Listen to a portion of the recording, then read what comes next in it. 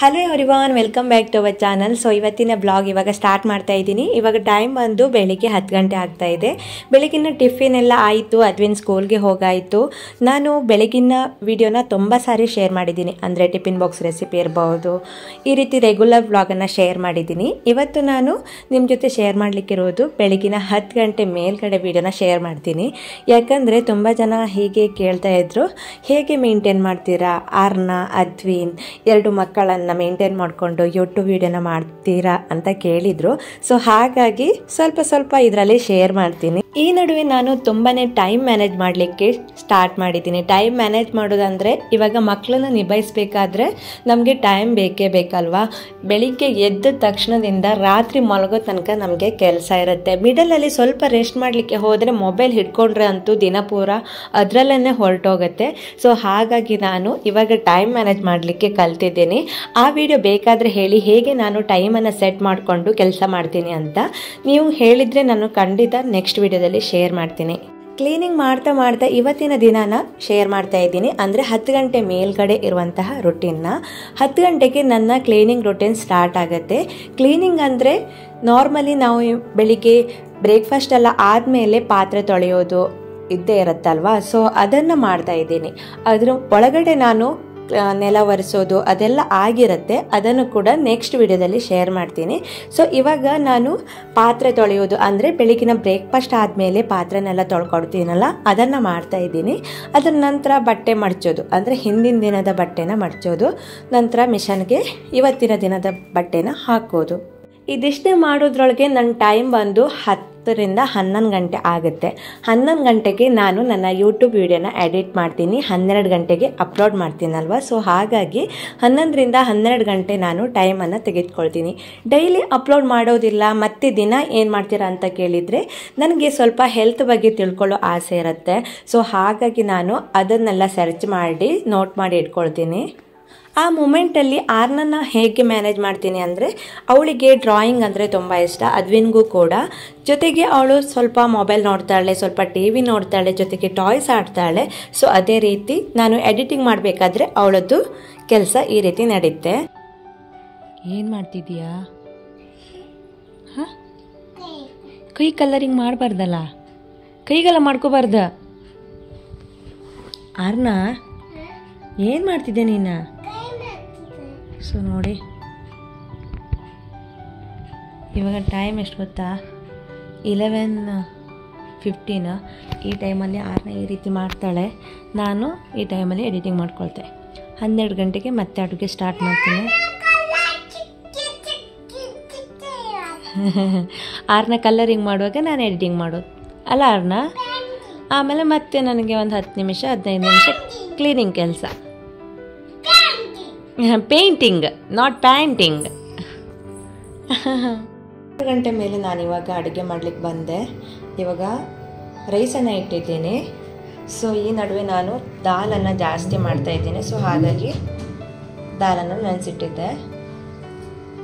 ಇನ್ನು ಅಡುಗೆ ಮಾಡ್ತಾ ಮಾಡ್ತಾ ಚಿಕ್ಕ ಪುಟ್ಟ ಕೆಲಸನೂ ಕೂಡ ಮಾಡ್ತೀನಿ. ಅಂದರೆ ಇವಾಗ ಚಪಾತಿ ಮಾಡೋದ್ರಿಂದ ಚಪಾತಿ ಹಿಟ್ಟೆಲ್ಲ ತಂದಿರ್ತೀವಿ. ಅದನ್ನೆಲ್ಲ ಬಾಕ್ಸಿಗೆ ಹಾಕೋದಿರ್ಬೋದು ಅಥವಾ ಕೊತ್ತಂಬರಿ ಮೆಣಸು ಅದನ್ನೆಲ್ಲ ಮಿಡಲ್ ಮಿಡಲಲ್ಲಿ ಹುರ್ಕೊಂಡು ಸೈಡಲ್ಲಿ ಇಟ್ಕೊಳ್ತೀನಿ.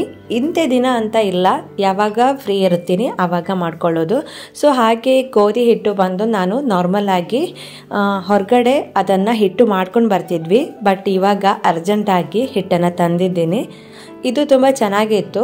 ಆಶೀರ್ವಾದಕ್ಕಿಂತನೂ ನನಗೆ ಇದಿಷ್ಟ ಆಗ್ತಿತ್ತು. ಸೊ ಹಾಗಾಗಿ ನಾನು ಇದನ್ನು ತಂದಿದ್ದೀನಿ. ಇನ್ನು ಗೋಧಿ ಹಿಟ್ಟನ್ನು ಬಾಕ್ಸ್ಗೆ ಹಾಕ್ತಾ ನೆನಪಾಯಿತು.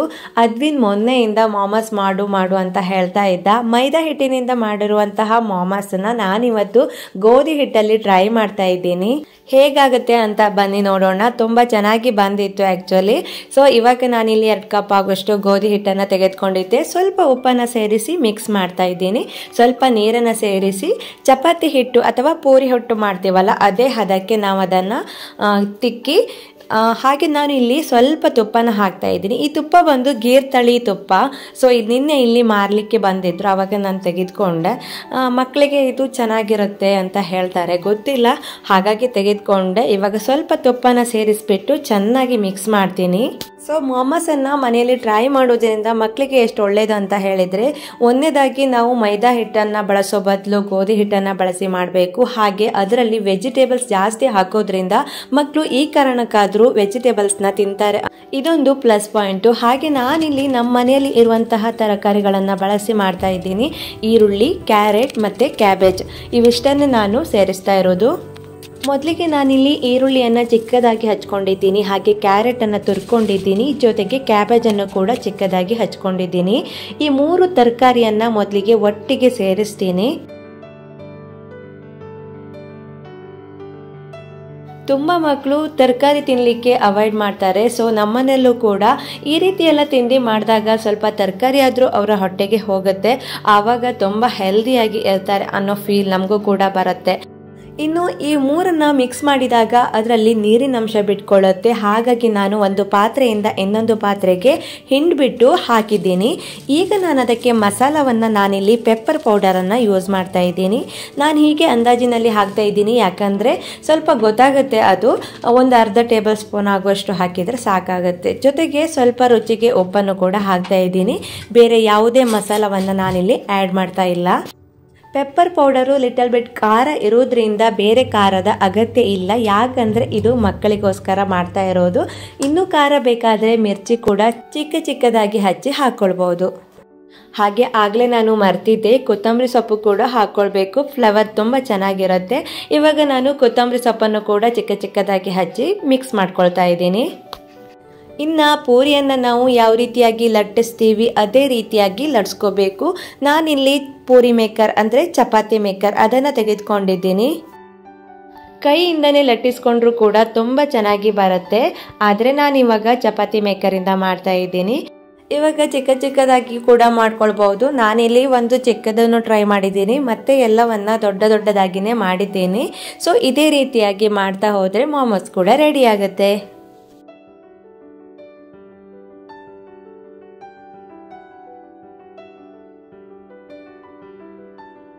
ಇದೇ ರೀತಿಯಾಗಿ ಮಾಡಿ ಇದನ್ನು ಹಬೆಯಲ್ಲಿ ಬೇಯಿಸ್ಕೊಳ್ಬೇಕು. ನಾನಿಲ್ಲಿ ಇಡ್ಲಿ ಮಾಡುವ ಅಟ್ಟದಿಂದ ಮಾಡ್ಕೊಳ್ತಾ ಇದ್ದೀನಿ. ಸೊ ಹಾಗೆ ಎಲ್ಲವನ್ನ ಮಾಡ್ಕೊಳ್ತೀನಿ.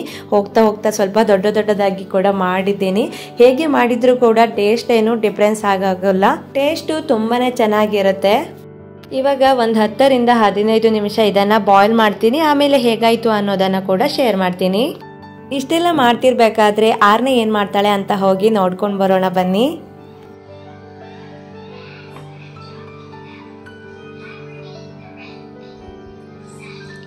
ಏನ್ ಮಾಡ್ತಿದ್ಯಾ? ಎಣ್ಣೆ ಹಾಕ್ತಿದ್ಯಾ? ಎಷ್ಟುದು ಜಡ ಇದೆ ನಿನಗೆ? ಅಯ್ಯೋ ಅಯ್ಯೋ ಹತ್ರ ಬಂದು ತೋರಿಸೋದಾ? ಇಷ್ಟುದ ಇದೆಯಾ? ವಾವ್. ಆ ಸ್ಮೈಲು. ಅಲ್ಲಿ ಮಾತ್ರ ಹಾಕುದಾ? ಬೇರೆ ಕಡೆ ಹಾಕಲ್ಲ? ನಂಗೆ ಬೇಡ ನೀನೇ ಹಚ್ಕೋ.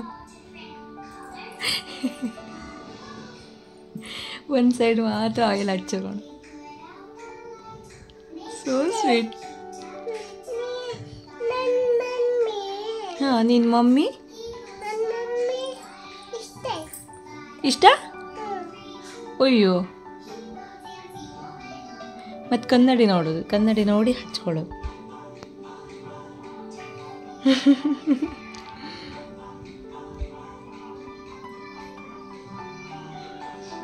ಒಂದೇ ಸೈಡ್ ಹಚ್ಕೊಂಬುದಾ? ಮತ್ತೆ ಮತ್ತೆ ಆಯಿಲ್ ಎಷ್ಟು ಆಯಿಲ್ ಇದೆ ನೋಡಿ ಕೈಯಲ್ಲಿ. ಓಹೋ ಓಹೋ ಹಚ್ಕೊಳ್ಳೋದು ಮತ್ತೆ.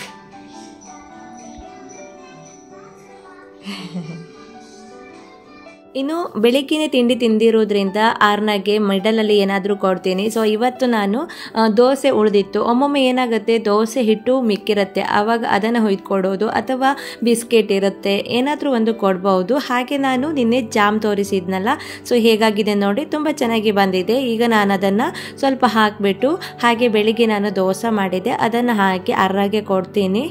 ಅವಳಿಗೆ ಬೇಕಾಗುವಷ್ಟು ತಿಂತಾಳೆ. ಸೊ ಅಷ್ಟೇ ತಿನ್ನಬೇಕು ಅಂತ ಏನು ಪೋರ್ಸಿಲ್ಲ ತಿಂದರೆ ತಿಂತಾಳೆ ಅಂತ ಹೇಳಿ ಆ ಮೂಮೆಂಟಲ್ಲಿ ಒಂದು ಕೊಟ್ಬಿಡ್ತೀನಿ. ತಲೆಗೆಲ್ಲ ಯಾಕೆ ಕಟ್ಕೊಂಡಿದ್ದ? ಮಮ್ಮಿ ಮಾಡ್ತಾಳಾ? ಮಮ್ಮಿ ಹಾಗೆ ಮಾಡ್ತಾಳಾ? ಮಗಳು? Oh darling. ಡಾರ್ಲಿಂಗು? ಹಾಂ ಹಾಂ ಹಾಂ ಹಾಂ. ಆಗಲೇ ಅದ್ವಿನ್ ಬರೋ ಟೈಮ್ ಆಗ್ತಾ ಬಂತು ಸೊ ಮಳೆ ಕೂಡ ಬರ್ತಾ ಇದೆ, ಆರ್ನ ಕೂಡ ಮಲಗಿದ್ಲು. ಅದಕ್ಕೂ ಮೊದಲು ಮೊಮೋಸ್ ಏನಾಯಿತು ಅಂತ ಒಮ್ಮೆ ತೋರಿಸ್ತೀನಿ. ತುಂಬ ಚೆನ್ನಾಗಿದೆ, ಹಾಗೆ ಹೊರಗಡೆ ಅಂತೂ ಮಳೆ ಬರೋ ಟೈಮಲ್ಲಿ ಈ ರೀತಿಯಾದಂತಹ ಸ್ನ್ಯಾಕ್ಸ್ ಎಲ್ಲ ತಿನ್ನೋಕ್ಕಂತೂ ತುಂಬ ಚೆನ್ನಾಗಿರುತ್ತೆ. ಒಮ್ಮೆ ನೀವು ಕೂಡ ಟ್ರೈ ಮಾಡಿ ಅಂತ ಹೇಳ್ತೀನಿ, ಹಾಗೆ ತುಂಬ ಚೆನ್ನಾಗಿ ಕೂಡ ಬಂದಿದೆ ಇದು. ಇದನ್ನು ತಿಂದಾಗ ಅದ್ವಿನ್ ಕೂಡ ಹೇಳಿದ, ಟಿಫಿನ್ ಬಾಕ್ಸ್ಗೂ ಮಾಡು ಅಂತ. ಇನ್ನೊಂದು ಸಾರಿ ನಾನು ಟಿಫಿನ್ ಬಾಕ್ಸ್ಗೆ ಮೈದಾ ಹಿಟ್ಟಿನಲ್ಲೂ ಕೂಡ ಮಾಡಿ ತೋರಿಸ್ತೀನಿ, ತುಂಬ ಚೆನ್ನಾಗಿ ಬರುತ್ತೆ. ಮಾಡಲಿಕ್ಕೂ ಕೂಡ ಅಷ್ಟೇ ಈಸಿ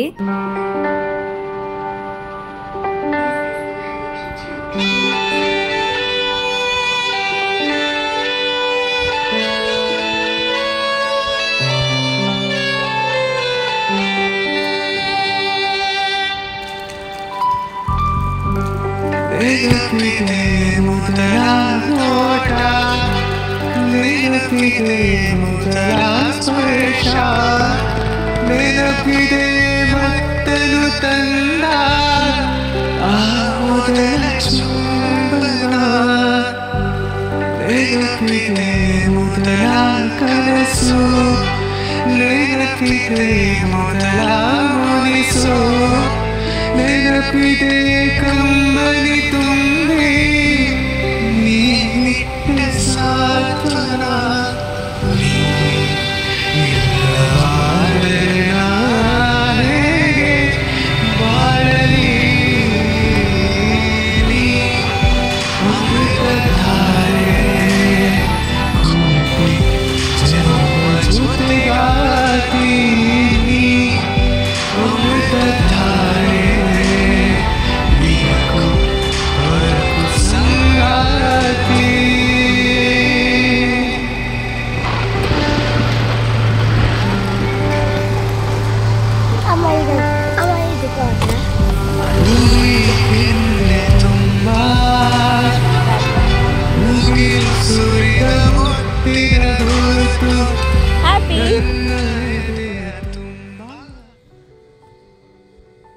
ಅದ್ವಿನ್ ಮನೆಗೆ ಬರಬೇಕಾದ್ರೆ ಮೂರು ಗಂಟೆ ಆಗುತ್ತೆ, ನಂತರ ಸ್ವಲ್ಪ ಹೊತ್ತು ಫ್ರೆಶ್ ಅಪ್ ಆಗಿ ಊಟ ಮಾಡಿ ಅನ್ನೋದ್ರೊಳಗೆ ನಾಲ್ಕು ಗಂಟೆ ಆಗಿಬಿಡತ್ತೆ. ನಂತರ ಅವನು ಸ್ವಲ್ಪ ಹೊತ್ತು ಟಿ ವಿ ಕೂಡ ನೋಡ್ತಾನೆ. ಅಲ್ಲಿ ತನಕ ನಾನು ಕೆಲವೊಂದು ಸಣ್ಣ ಪುಟ್ಟ ಕೆಲಸ ಇದ್ದರೆ ಮಾಡ್ಕೊಳ್ತೀನಿ. ಸೊ ಇವತ್ತು ನಾನು ಕಿಚನ್ ಸ್ವಲ್ಪ ಕ್ಲೀನ್ ಮಾಡೋಣ ಅಂತ ಬಂದೆ. ಕಿಚನ್ನು ಹದಿನೈದು ದಿನಕ್ಕೊಮ್ಮೆ ಡೀಪ್ ಕ್ಲೀನಿಂಗ್ ಮಾಡೇ ಮಾಡ್ತೀನಿ. ಯಾಕಂದರೆ ಇವಾಗ ನಾವು ದಾಲ್ ಬೇಯಿಸೋದಿರ್ಬಹುದು ಏನಾದರೂ ಒಂದು ಕುಕ್ ಮಾಡ್ತಿರ್ಬೇಕಾದ್ರೆ ಕುಕ್ಕರಿಂದ ಹೊರಗಡೆ ಸೇರುತ್ತೆ. ಆವಾಗ ಈ ಗ್ಲಾಸ್ ಇದೆಯಲ್ಲ ಫುಲ್ ಗಟ್ಟಿ ಆಗಿಬಿಡುತ್ತೆ. ಇನ್ನು ಹೊರಗಡೆಯಿಂದ ಧೂಳು ಕೂಡ ಜಾಸ್ತಿಯಾಗಿಯೇ ಬರುತ್ತೆ. ಇವಾಗ ಮಳೆಗಾಲ ಆಗಿರೋದ್ರಿಂದ ಸ್ವಲ್ಪ ಕಡಿಮೆನೆ. ನಿಮ್ಗಿಲ್ಲಿ ನೋಡ್ಬೋದು, ಅಲ್ಲಿ ಪಾರಿವಾಳ ಕಾಣಿಸ್ತಿದೆಯಲ್ಲ? ಆ ಕಡೆಯಿಂದ ಈ ಕಡೆಯಿಂದ ಹಾರಬೇಕಾದ್ರೆ ಧೂಳು ತುಂಬಾ ಬರುತ್ತೆ. ಇದು ಗ್ಲಾಸ್ ಆಗಿರೋದ್ರಿಂದ ಗ್ಲಾಸ್ ಎಲ್ಲ ಮಸ್ಕ್ ಆಗಿಬಿಡುತ್ತೆ. ಸೊ ಹಾಗಾಗಿ ನಾನು ಫಿಫ್ಟೀನ್ ಡೇಸ್ಗೊಂದ್ಸಲಿ ಇದನ್ನು ಕ್ಲೀನ್ ಮಾಡ್ತೀನಿ. ಸೊ ಇವತ್ತು ಕ್ಲೀನ್ ಮಾಡೋಣ ಅಂತ ಬಂದೆ. ಸೊ ಕ್ಲೀನ್ ಮಾಡಿದಾಗಲೇ ಒಮ್ಮೆ ಫ್ರೆಶ್ ಅಂತ ಫೀಲ್ ಆಗುತ್ತೆ. ಕಿಚನ್ ಎಷ್ಟೇ ಕ್ಲೀನ್ ಮಾಡಿದರೂ ಕೂಡ ಮೆಸ್ಸಿ ಆಗೋದಂತೂ ಖಂಡಿತ. ಯಾಕಂದರೆ ವೆರೈಟಿ ವೆರೈಟಿ ಏನಾದರೂ ಒಂದು ಮಾಡಿದಾಗ ಹಲವಾರು ಪಾತ್ರೆಗಳನ್ನು ತೆಗಿತೀವಿ. ಅಥವಾ ಏನಾದರೂ ಒಂದು ಮಾಡಿದಾಗ ಆ ಕಡೆ, ಈ ಕಡೆ ಎಲ್ಲ ಇಟ್ಕೊಳ್ಬೇಕಾಗುತ್ತೆ. ಆವಾಗ ಅದು ಮೆಸ್ಸಿಯಾಗಿ ಕಾಣಿಸುತ್ತೆ. ಇನ್ನು ಈ ಕಿಚನ್ ಬಂದು ತುಂಬಾ ಚಿಕ್ಕದು. ಎಷ್ಟೇ ಖಾಲಿ ಮಾಡಿ ಕ್ಲೀನ್ ಮಾಡಿದರೂ ಕೂಡ ಇನ್ನು ಸಾರು ಮಾಡಿರೋದು, ಅನ್ನ ಮಾಡಿರೋದು, ಪಾತ್ರೆ ತೊಳೆದಿರೋದು, ಅದನ್ನೆಲ್ಲ ಈ ಕಿಚನ್ ಟಾಪ್ ಮೇಲೆ ಇಟ್ಟ ಮೇಲೆ ಮತ್ತೆ ಮತ್ತೆ ಮೆಸ್ಸಿಯಾಗಿ ಕಾಣಿಸೋದಂತೂ ಗ್ಯಾರಂಟಿ ಸೊ ನಾನೇನು ಮಾಡ್ತೀನಿ ವೀಕ್ಲಿಗೊಮ್ಮೆ ಈ ಕಿಚನ್ ಟಾಪನ್ನು ಕ್ಲೀನ್ ಮಾಡಿದಾಗ ಅದನ್ನೆಲ್ಲ ಒಮ್ಮೆ ಕ್ಲೀನ್ ಮಾಡಿ ಬಿಡ್ತೀನಿ. ಇವಾಗ ಚಿಕ್ಕ ಪುಟ್ಟದೆಲ್ಲ ತಂತಂದು ಇಡ್ತಾರೆ ಮಕ್ಕಳು ಹಾಗೆ ನಾನಿಲ್ಲಿ ಕ್ಲೀನ್ ಮಾಡಲಿಕ್ಕೆ ಈ ಸ್ಪಾಂಜನ್ನು ಯೂಸ್ ಮಾಡ್ತೀನಿ. ಒಮ್ಮೆ ಕ್ಲೀನ್ ಮಾಡಿದ ಮೇಲೆ ಸ್ಪಾಂಜಿಂದ ಒಮ್ಮೆ ಕ್ಲೀನ್ ಮಾಡಿದಾಗ ಆ ನೀರಿನ ಅಂಶ ಎಲ್ಲ ಅದು ಹೀರ್ಕೊಳ್ಳುತ್ತೆ. ಆವಾಗ ಕಿಚನ್ ನೀಟಾಗಿ ಕಾಣಿಸುತ್ತೆ. ನನಗೆ ನನ್ನ ತುಂಬ ಫೇವ್ರೆಟ್ ಆದಂತಹ ಜಾಗ ಅಂದ್ರೇ ಕಿಚನ್ನು ಅವಾಗವಾಗ ಏನಾದರೂ ಬಂದು ಕುಕ್ ಮಾಡೋದಿರ್ಬೋದು ಅಥವಾ ಏನಾದರೂ ಕ್ಲೀನ್ ಮಾಡೋದು ಅದೆಲ್ಲ ಮಾಡ್ತಾ ಇರ್ತೇನೆ. ನನಗೆ ತುಂಬಾ ಇಷ್ಟ. ನಾನಿಲ್ಲಿ ಜಾಸ್ತಿ ಟೈಮ್ ಕೂಡ ಸ್ಪೆಂಡ್ ಮಾಡ್ತೀನಿ. ಕಿಚನ್ನಲ್ಲಿ ನನಗೆ ಜಾಸ್ತಿ ಕೆಲಸ ಅನಿಸೋದು ಪಾತ್ರೆ ತೊಳೆಯೋದು ಮಾತ್ರ. ಸೊ ಇವಾಗ ಎಲ್ಲ ನೀಟಾಗಿ ಕ್ಲೀನ್ ಮಾಡಿ ಆಯಿತು. ಇನ್ನು ನಾನು ಆ ಗ್ಲಾಸ್ಗೆ ರೊಟ್ಟನ್ನು ಹಾಕ್ತಾ ಇದ್ದೀನಿ. ಯಾಕಂದರೆ ಸ್ವಲ್ಪ ಲೈಟು ಜಾಸ್ತಿಯಾಗಿ ಬರುತ್ತೆ ಒಮ್ಮೊಮ್ಮೆ. ಹಾಗಾಗಿ ಸ್ವಲ್ಪ ಅಡ್ಡಾಗಲಿ ಅಂತ ಹೇಳಿ ಈ ರೀತಿ ರೊಟ್ಟನ್ನು ಹಾಕ್ತೀನಿ. ಆವಾಗ ಸ್ವಲ್ಪ ಚೆನ್ನಾಗಿ ಕಾಣಿಸುತ್ತೆ. ಸೊ ಹಾಗೆ ನಾನು ಲಾಸ್ಟ್ ಟೈಮ್ ನೋಡಿದಾಗೆ ಮನಿ ಪ್ಲ್ಯಾಂಟನ್ನು ಕೂಡ ಇಲ್ಲಿ ಇಡ್ತೀನಿ. ನಾವು ಇರುವಂತಹ ಪ್ಲೇಸು ಯಾವಾಗಲೂ ನೀಟ್ ಆ್ಯಂಡ್ ಕ್ಲೀನಾಗಿ ಇದ್ದರೆ ನಮಗೆ ಯಾವುದೇ ಕೆಲಸ ಮಾಡಲು ಕೂಡ ಖುಷಿ ಕೊಡುತ್ತೆ. ಸೊ ಹಾಗೆ ಇವಾಗ ಕಿಚನ್ ಕ್ಲೀನಿಂಗ್ ಆಯಿತು. ನಂತರ ನಾನು ನೈಟ್ ಡಿನ್ನರ್ಗೆ ಏನಾದರೂ ಮಾಡಬೇಕಲ್ವಾ? ಹಾಗೆ ಮೆಣಸು ಕೂಡ ಖಾಲಿಯಾಗಿತ್ತು, ಹುರಿದಿರೋದು. ಇವಾಗ ನಾನು ಮೆಣಸನ್ನು ಹುರ್ಕೊಳ್ತಾ ಇದ್ದೀನಿ. ನಾನು ಒಮ್ಮೆಲೇನೆ ಸ್ವಲ್ಪ ಹುರಿದಿಟ್ಕೊಳ್ತೀನಿ. ಅದು ಖಾಲಿ ಆದ ತಕ್ಷಣ ಮತ್ತೆ ರೀಪೇಲ್ ಮಾಡ್ತೀನಿ. ಇನ್ನು ಬೇಗ ಬೇಗ ಅಡುಗೆ ಮಾಡಿಬಿಟ್ಟು ಒನ್ ಅವರು ಅದ್ವಿನ್ಗೋಸ್ಕರ ನಾನು ಟೈಮನ್ನು ಫಿಕ್ಸ್ ಮಾಡ್ಕೊಂಡಿದ್ದೀನಿ. ಇವಾಗ ಮಕ್ಕಳನ್ನೆಲ್ಲ ಟ್ಯೂಷನ್ಗೆ ಕಳಿಸೋದು ಮಾಮೂಲಾಗಿದೆ. ಸೊ ನಾನು ಟ್ಯೂಷನ್ಗೆ ಅವನನ್ನು ಕಳಿಸೋದಿಲ್ಲ. ಆ ಒನ್ ಅವರು ಟ್ಯೂಷನ್ ಟೀಚ್ ಥರ ನಾನು ಮಾಡ್ತೀನಿ. ಆನಂತರ ನಾನು ಫ್ರೀ ಇದ್ದರೆ ಗಾರ್ಡನ್ಗೆ ಹೋಗ್ತೀನಿ. ಇಲ್ಲ ಅಂದರೆ ಇಲ್ಲಿ ಲಾಬಿಯಲ್ಲಿ ಆಟ ಆಡ್ತಾರೆ. ಮಳೆ ಕೂಡ ಬಂದಾಗ ಕೂಡ ಲಾಬಿಯಲ್ಲಿನೇ ಆಟ ಆಡ್ತಾರೆ. ಸೊ ಇವತ್ತು ಸ್ವಲ್ಪ ಮಳೆ ಕಡಿಮೆ ಇತ್ತು. ಸೊ ಹಾಗಾಗಿ ನಾನು ಇಲ್ಲಿ ಹೊರಗಡೆ ಕರ್ಕೊಂಡು ಹೋಗ್ತಿದ್ದೀನಿ. ಅಂದರೆ ಗಾರ್ಡನ್ಗೆ ಸೊ ಇದಾಗಿತ್ತು ನನ್ನ ಇವತ್ತಿನ ಪುಟ್ಟ ಬ್ಲಾಗ್ ನಿಮಗೇನಾದರೂ ಇಷ್ಟ ಆದರೆ ಲೈಕ್ ಮಾಡಿ. ಹಾಗೆ ನಿಮ್ಮ ಅನಿಸಿಕೆಯನ್ನು ಕಮೆಂಟ್ ಬಾಕ್ಸಲ್ಲಿ ತಿಳಿಸಿ ಅಂತ ಹೇಳ್ತಾ ಮುಂದಿನ ವಿಡಿಯೋದಲ್ಲಿ ನಾನು ಮತ್ತೆ ಸಿಗ್ತೀನಿ. ಅಲ್ಲಿ ತನಕ ಎಲ್ರಿಗೂ bye bye thank you for watching